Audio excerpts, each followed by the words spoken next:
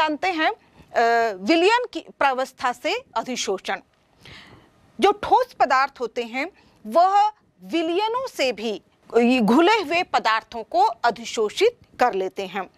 उदाहरण के लिए, यदि हम एसिटिक एसिड के विलियन में चारकोल को डालकर हिलाएँ तो कुछ समय के बाद हम देखते हैं कि एसिटिक एसिड का जो विलियन की सांद्रता है, वह कम हो जाती है।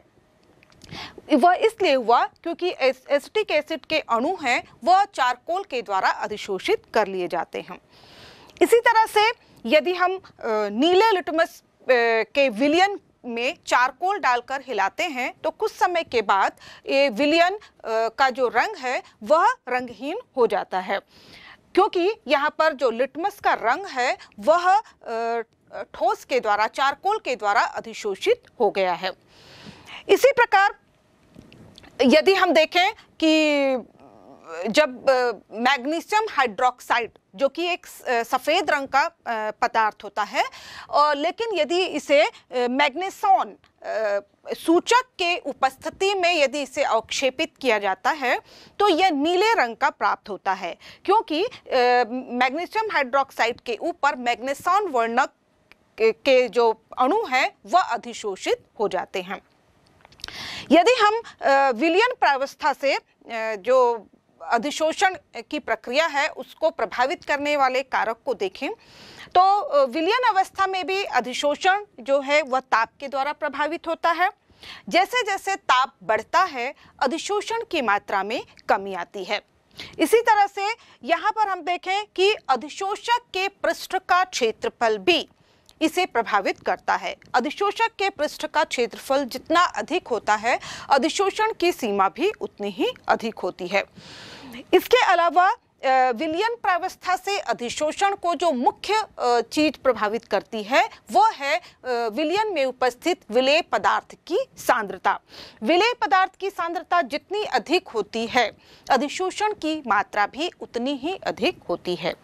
इसके अलावा विलियन से होने वाले अधिशोषण प्रक्रिया में अधिशोष तथा अधिशोषक दोनों की प्रकृति भी इसे प्रभावित करती है।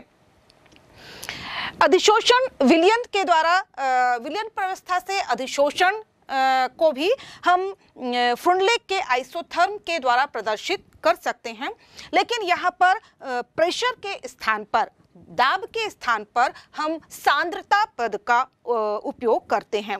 यानी कि यदि हम इसे विलियन के रूप में प्रदर्शित करें तो हम इस तरह से लिखेंगे, x by m is equal to k c to the power one by n और यदि हम इसका लॉग लें तो ये प्राप्त होगा log x by m is equal to log k plus one by n log c और यदि हम इसे लॉग एक्स बाई एम को वाई एक्सिस पर रखते हुए, तथा तो लॉग सी को एक्स एक्सिस पर रखते हुए ग्राफ प्लॉट करें तो हमें एक सरल रेखा प्राप्त होती है, जिसका स्लोप हमें वन बाई एन का मान दर्शाता है, तथा जिसमें एक्स अक्ष पर जो अंताखंड है, वह लॉग के के मान को दर्शाता है। और इस तरह से यहाँ पर सरल रेखा का प्राप्त होना हमें फ्रंटलेग के आइसोथर्म की सत्यता को प्रदर्शित करता है। विलियन प्रावस्था से अधिशोषण के मान को हम प्रायोगिक तौर पर भी ज्ञात कर सकते हैं। इसके लिए मान लीजिए हम एसिटिक एसिड के अलग अलग सांद्रता के विलियन लेते हैं और इस इन सभी विलियनों में की समान मात्रा ली जाती है। इन सब समान मात्राओं में प्रत्येक में अधिशोषक, यानी कि चारकोल के निश्चित द्रव्यमान को डाल दिया जाता है।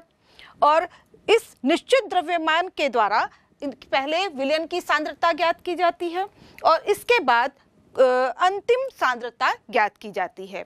और इन दोनों सांद्रताओं का अंतर हमें x के मान को प्रदर्शित करता है और इसके द्वारा x के मान को हम फ्रॉन्डलिक समीकरण में रखकर हम फ्रॉन्डलिक समीकरण की सत्यता को प्रमाणित कर सकते हैं।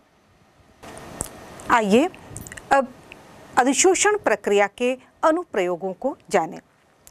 सबसे पहला अनुप्रयोग है उच्च निर्वात उत्पन्न करने में निर्वात से तात्पर्य होता है वहाँ पर एक मात्र भी, लेश मात्र भी वायु ना हो और इस तरह जब हम निर्वात पंप से निर्वात किसी ट्यूब से या बंद पात्र से पंप के द्वारा पूरी वायु को अधिशो निकाल लेते हैं। उसके बाद भी यदि वहाँ पर लेश मात्र वायु बची होती है तो उसे भी वहाँ पर चारकोल या एक्टिवेटेड चारकोल रख दिया जाता है और वह चारकोल अधिशोषण के द्वारा अंतिम या लेश मात्र वायु को भी अधिशोषित कर लेता है और इस तरह से उच्च निर्वात उत्पन्न किया जाता है। दूसरा अनुप्रयोग है अधिशोषण का गैस मास्क। जैसा कि आप जानते हैं, जो माइनिंग या खनन प्रक्रिया में लगे लोग होते हैं, वो उन्हें एक गैस मास्क दिया जाता है, क्योंकि खनन के दौरान कभी कभी विषैली गैसें निष्कासित होने लगती हैं। और चूँकि ये जो गैस मास्क होता है, उसके अंदर एक्टिवेटेड चारकोल भरा होता है, अतः यदि ये विषैली गैसें वहाँ पर रिलीज़ होती हैं तो चारकोल के द्वारा वो अधिशोषित कर ली जाती हैं और जिससे व्यक्ति की के जीवन की रक्षा हो जाती है। तीसरा और महत्वपूर्ण उपयोग है आर्द्रता का नियंत्रण। ये तो आप पहले ही जान चुके हैं कि सिलिका जेल या एलुमिना जेल जैसे जो पदार्थ हैं, वो अधिशोषण के द्वारा नमी को अधिशोषित कर लेते हैं। और इस तरह से वातावरण की नमी को अधिशोषित करके ये शुष्क वातावरण उपस्थित करते हैं, जिससे हमारी बहुत सी चमड़े या की चीज़ें या इलेक्ट्रॉनिक सामानों की सुरक्षा होती है। अगला अनुप्रयोग है विलियन से रंगीन अशुद्धियों को हटाने के लिए।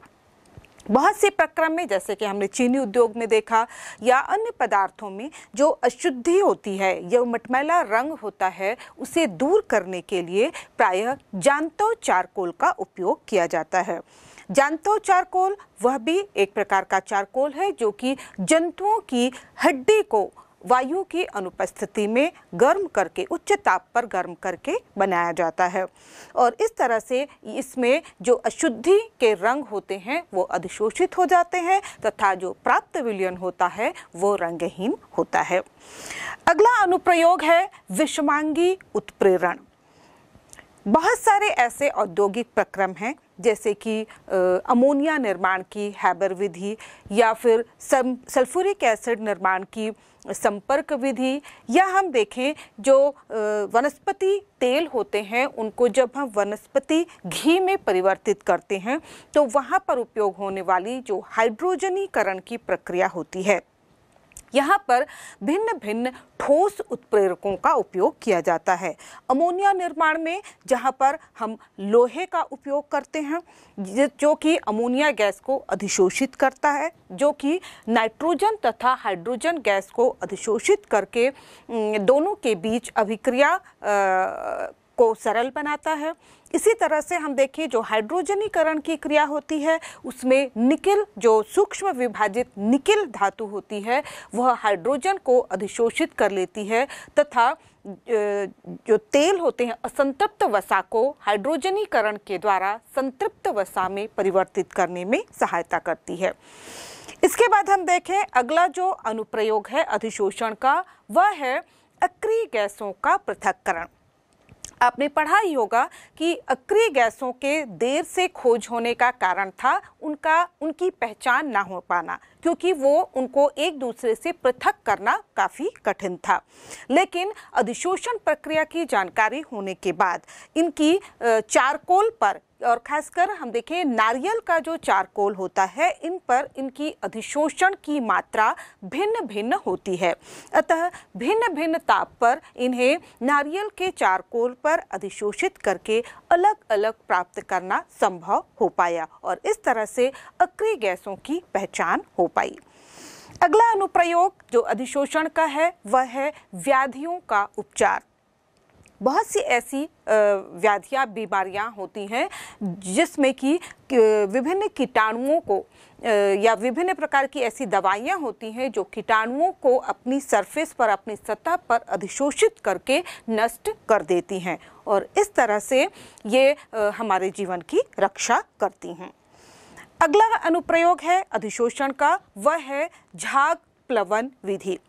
आपने जैसे पढ़ा ही है कि धातु कर्मी प्रक्रम में जब हम अयस्कों का सांद्रण करते हैं तो वहाँ पर सल्फाइड अयस्कों के सांद्रण के लिए झाग प्लवन विधि का उपयोग किया जाता है, जिसमें हम अयस्क को बारीक पीस कर उसे पानी के साथ उसको, उसका मिला लेते हैं और उसमें फिर हम कोई झाग कारक तथा चिड़ या फैटी एसिड्स तेल मिला दे दें हम।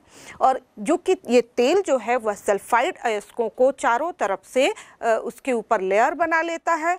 और जब यहाँ पर उच्च वायु का प्रवाह किया जाता है तो जो झाग उत्पन्न होता है, वह उसमें सारे सल्फाइड अयस्क एकत्रित हो जाते हैं। और झाग चूँकि हल्का होता है, और इसलिए ये झाग के साथ निकलकर ऊपर आ जाते हैं, जिन्हें पृथक कर लिया जाता है। तो इस तरह से हल्के सल्फाइड अयस्कों को भारी जो गैंग होते हैं, यानी कि सिलिका जल वगैरह से पृथक किया जाता है। इसके बाद जो अगला अनुप्रयोग है अधिशोषण का, वह है अधिशोषण सूचक। कई ऐसे पदार्थ होते हैं, जैसे कि सिल्वर हैलाइड है, हुआ या मैग्नीशियम हाइड्रोक्साइड हुआ। जब ये अवक्षेपित होते हैं तो ये कुछ सूचकों को अपनी सतह पर अधिशोषित कर लेते हैं। और जैसे ही ये इन सूचकों को अपनी सतह पर अधिशोषित करते हैं तो ये रंग उत्पन्न करते हैं और इस रंग के द्वारा हमें अंतिम बिंदु की पहचान हो जाती है। और इस तरह से इन्हें अधिशोषण सूचक के तौर पर, जैसे कि ईओसिन हुआ या फ्लोरोसिन हुआ तथा कुछ डाइज, है ना, इस प्रकार के सूचकों के रूप में उपयोग में लाए जाते हैं। अगला जो उपयोग है अधिशोषण का वह है वर्ण लेखनी विश्लेषण। जो क्रोमेटोग्राफी प्रक्रिया है, वह अधिशोषण के सिद्धांत पर आधारित है, जो जिसका उपयोग विभिन्न प्रकार के वैश्लेषिक कार्यों तथा औद्योगिक जगत में महत्वपूर्ण भूमिका होती है। तो इस तरह से हमने देखा कि अधिशोषण प्रक्रिया का हमारे लिए काफ़ी महत्व है।